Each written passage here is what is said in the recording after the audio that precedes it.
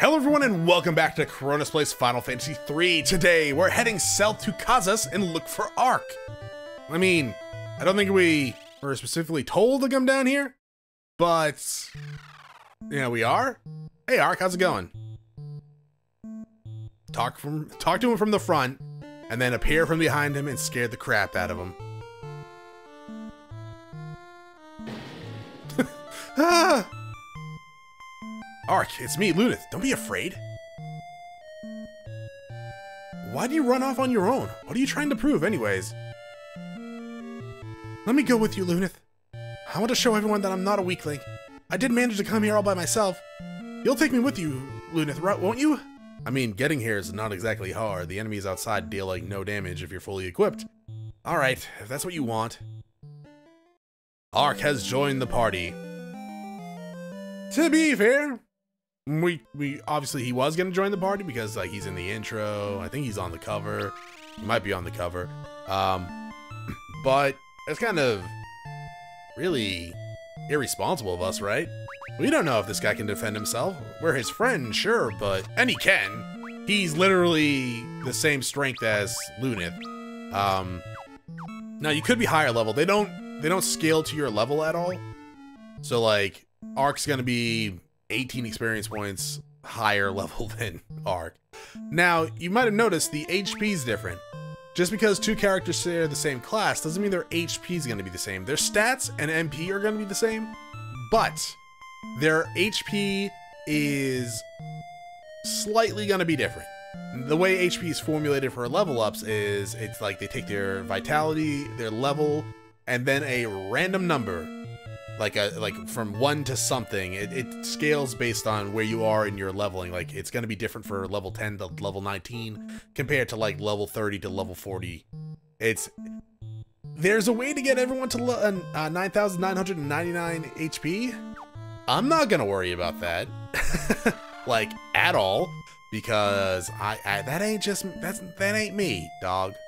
But if you want to worry about it don't worry. There's plenty of like guides that can uh that can show you how to do that. By the way, Mithril Helm, just sitting here in the tree. This uh, this thing's actually quite dope. It's uh, fairly strong compared to what we have right now. Well, three points strong. It's four times the strength of this leather cap. Told you it was strong, right? Can we zoom in? Uh, we can't zoom in all the way there. There is another item here. Sadly, we can't see it. Oh, there it is. Oh, we just got it in time. It's a staff. It's for white mages and I think black mages. Spoiler, those are going to be classes. Where the hell is it? There it is, Zeus's Wrath. It's another battle item you can use. Um, save it? I mean, you can use it. It's not too, too bad. Uh, let's see, we want to go in... Is that where we want to go in first? Oh, is... Yeah, I think there's one in here. This is a blacksmith's house that we're not gonna have to worry about. There, it is. It's another potion. Game just hands them out like candy. You say anything interesting? Ah, he's talking about mithril rings, because uh, that's how you break this curse, apparently. Oh, he wouldn't work unless his daughter saved. Well, that's, you know, kind of irresponsible. If you knew that making a mithril ring and would save everyone, and you could make it, but you just didn't because you didn't know your daughter was not like not safe or something. I mean, come on, dog, really? You're gonna put a whole village's life at risk because you don't know if your daughter's home or not? Howdy there, Cid's the name. I'm from Canaan, but I've been stuck here ever since Nel Valley got blocked by a giant rock.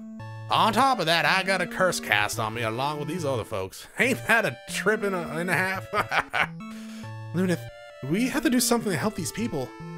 Say, if I let you my airship, do you lads think you could help me and these others, uh, other saps? From what I hear, the curse can be dispelled through the power of a mithril ring. Unfortunately, we seem to be all out of mithril rings here. Even if we could get the mithril, Taka the smith has been turned into a ghost himself, and his daughter, the apprentice, has gone missing. My airship's hidden in the desert west of here. Use it to find a way to lift the curse. Sweet, so we're gonna get an airship, like, second episode of the Let's Play? Sounds good to me. Think we got everything in here in terms of treasure.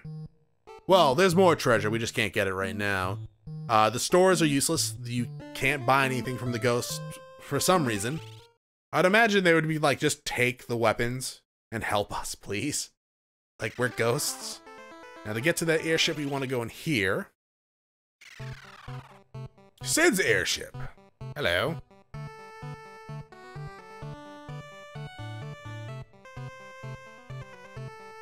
Eek! Who are you? What are you doing here?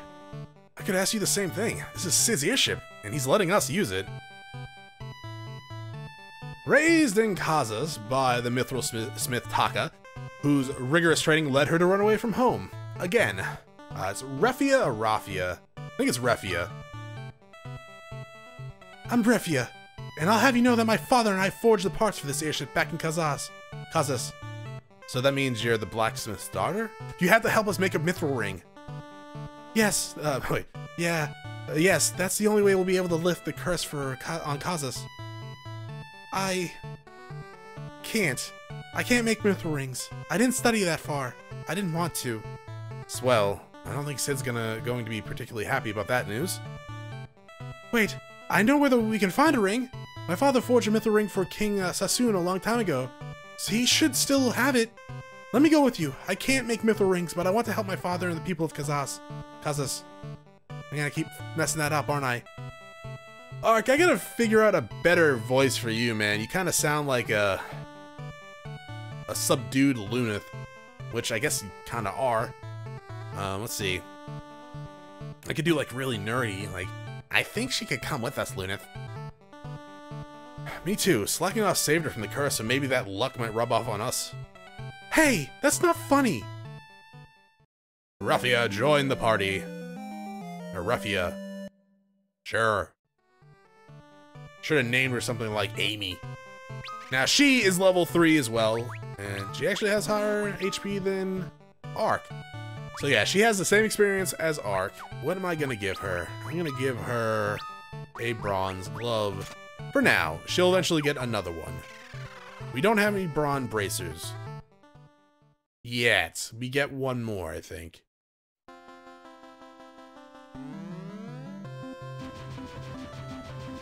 Okay, so we have our first airship. And it doesn't go over mountains. So, yay, we got an airship that can fly in the general area. We can go back to Ur, hail up if need be.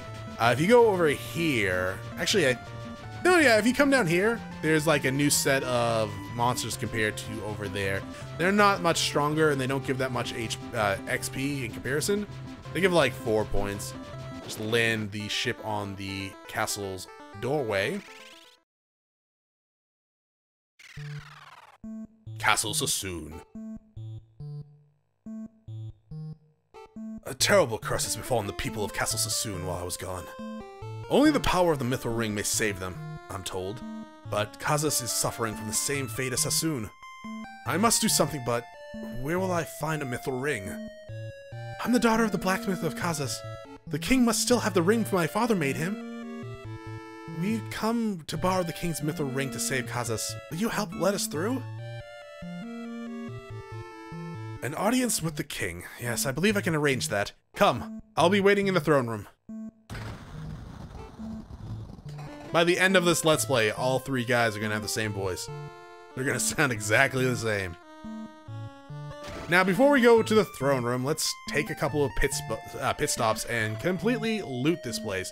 They're all ghosts here, too. You can talk to them. They all have, like, a little extra bit of information, like, this is a Djinn's curse. We didn't know that. I'm pretty sure the D's silent, so it's not the Jin, it's just Jin. We can rest here, right? Yeah. I don't think we need to. No. Alright, let's go and loot the place think we can just go in. No, we can't go in from here. Chronos, you silly man. You gotta go up one. And then you gotta instantly take a right through that door. And by door, I mean that crack in the wall. Grab this. Get a chest of a thousand gil. And another one. That's not bad, right? Money kind of flows like water in this game. Like this water, in fact. Though it's not really flow. Oh, no, no, no, it's flowing. Just out of that angel statue. Uh, yeah, money, money comes fast. Now, things can start costing a lot if you like buy a lot of consumables or if you are just wasteful buying weapons you don't need but you know you need every weapon right i do grabbed this. Notice that crack in the wall over there. Got another shield that we're never going to use. And blizzard. That's our first well no that's our second black magic spell next to sleep. Let's give that to Arc, not to spoil anything. Actually, while we're at it, we might as well give the Cure spell to Luneth, because why not? You know, we can use it three times, and if we use it completely, we can take it off him and give it to someone else that's not casting magic. So yeah, at this point, we have six free cures, because I can use it on Luneth, and then I can give it to Refia, and then she can use it. We also just got another bronze knuckles, so let's give that to her. She now causes the most damage. Go Refia. Is that the name of that one NPC in Final Fantasy Tactics? I feel like it is. It has been a while since I have played Final Fantasy Tactics, so I might just be wrong. You know, hashtag I might just be wrong. Slogan of the Let's Play. I hope not. uh, yeah, that's all the treasure we can get down there. There are two towers we can go to, but we're gonna go up here and talk to this guy first. You don't want to go to the the left tower right now with without coming up here because they'll hurt you there. You might you'll be fine, I think, probably, but you don't really want to chance it with the current party. So, the Djinn's curse has befallen us all. I am no exception. Sire, these younglings have come seeking the Mithril Ring to counter the curse. Ah, I am the same age as them, yes, but they are younglings and I am not. The Mithril Ring? You seek to use its power to banish the Djinn once again? I would grant you this boon. However, my daughter holds the ring, and she went missing shortly before the curse was cast upon us. If the princess holds the ring, the Djinn may have taken her. If it is so, I fear for my precious Sarah. The Djinn must have taken her to the cave to the north. Don't worry, sir. We'll get her back. Sire, I would like to ask you for your leave to accompany these brave souls to the sealed cave and rescue Lady Sarah. A loyal soldier of uh, King Sasune's army, he narrowly escaped the Djinn's curse. His prime, his prime concern is finding the missing Princess Sarah. His name is Ignis, and he has discovered a new recipe. You have my leave, Ignis, unless there are any objections. No, I don't want him. Of course not. His sword is worth twice that of these two. Uh, bullcrap? He has the same stats. Now, that's not fair, but I agree having one of the king's men with us would help us a lot. Ignis has joined the party.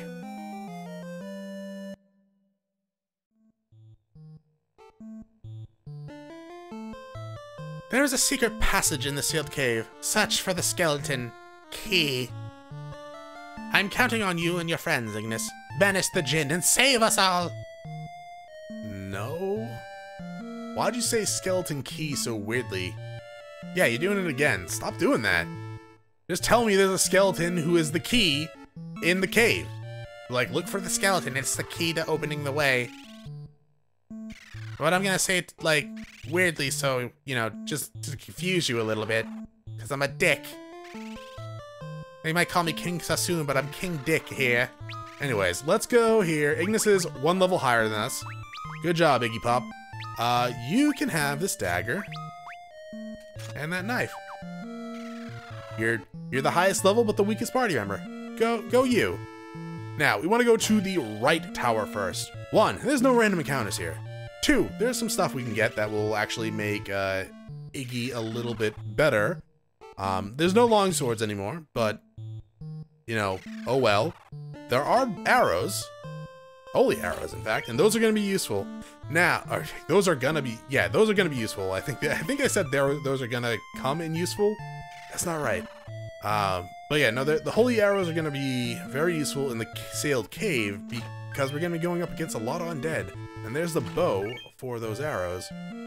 Now, am I going to equip those holy arrows right now? No, I'm going to equip the wood ones. So go here, grab the bow, and grab the wooden arrows. Now, that's slightly less damage, but we can put him in the back row now. And since he is a higher level, I might take the cure and put him on that, but spoilers, we're going to be getting another cure in the near future, so it's not that big of a deal if we don't get it right now or put it on him right now. Uh, we could go back and buy that Poisona that we didn't get last time. Uh, if we go up here, we can, you know, go on the upper parts of the barrier. There's there's no reason to do that. I don't think there's a reason to do that. No, there's no reason to do that. Okay, so, in the West Tower, there's enemy encounters! Am I auto-battling? I hope not. I mean, it doesn't really matter if I am, but I do actually don't care if I auto-battle. Yeah, I just auto-battle. Uh, these guys are going to give a lot of experience points in comparison to what we've been seeing. They're not that hard. They do survive more than one turn. Um, if I had Holy Arrows on, they would be pretty much killed instantly by uh, Iggy, but I want to save those for the cave. We got 50 experience points, and that's like just a guaranteed level up for Luneth there. We'll, we'll probably gain a few levels doing this, uh, this tower. Okay, and this is why I bought the antidotes earlier, because these zombies can poison you with their attacks. Kind of a dick move, you're not wrong. Might as well use our cure here. That should be enough. Doesn't get uh, Ruffy up to max, but that's fine. Uh, so yeah, everyone's past level 4 now, I guess. Iggy just gained a level 2, level 5. I'm gonna stop by Ur before we go to the Seal Caves to restore everyone's health anyways. So I don't mind using spells here. And finding new enemies! Uh, yeah, so like using spells here to cure. If I had the Poisona spell, that'd be better. I should put the holy arrows on him. We're to be getting more, and it's very unlikely that I'll be using all the arrows in the upcoming area.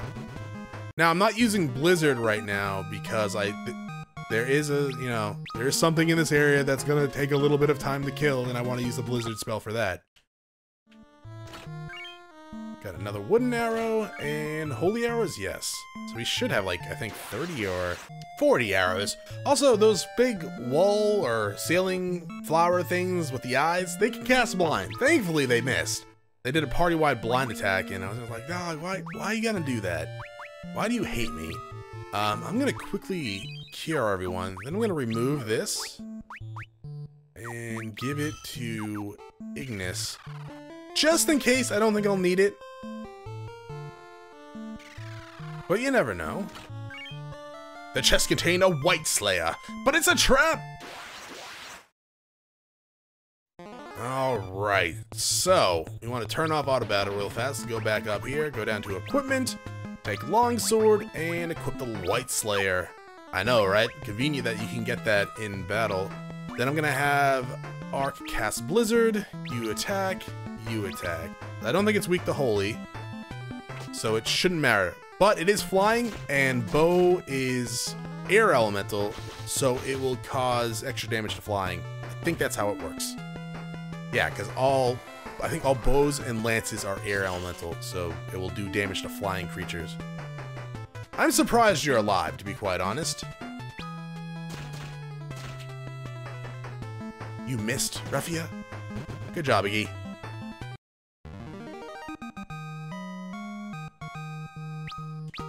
Much experience, but some. Alright, so, here's the plan. I'm gonna go back to Ur.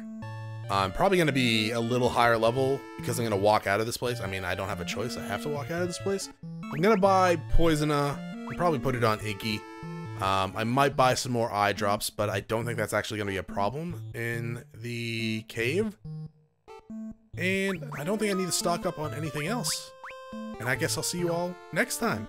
Thanks for watching. If you enjoyed the episode, press like below if you're not subscribed yet. When you head to my video section, check out some of the content and see if it's to your liking. Once again, thank you for watching. I hope you all have a great day.